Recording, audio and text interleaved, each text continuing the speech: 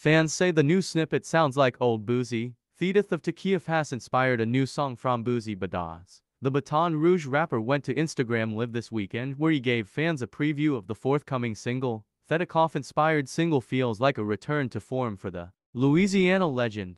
The song, titled Rocket Man, finds Boosie passionately delivering bars about the rising number of deaths among rappers in the past few years. We used to be heroes now they shoot us down like we free throws like killing a rapper cheat code talk that shit popping perks is. Cooler than selling kilos talk that shit women showing too much. Looking like cheap hoes and I hope you know what you know they gon' try to take you before you take off or long live me go. Boosie raps before going into a honeyed melody where he sings, This world makes me wanna fly like Rocket Man. Fans were immediately impressed by the offering, which might be a promising sign that it could drop soon. Many agreed that the song sounds like old Boosie. Boosie Badazz has released a slew of new music this year, following a prolific run in 2020 and 2021. Following the releases off Back to Bar and Mississippi, he blessed fans with Heartfelt in February 2022. Shortly after, he dropped off the deluxe edition. No word on whether Boosie will be releasing a new album soon, but he does have music in the pipeline. In the wake of Drake and 21 Savage's Her Loss release, the Wipe Me Down artist announced that he and I were on pace to release a joint project,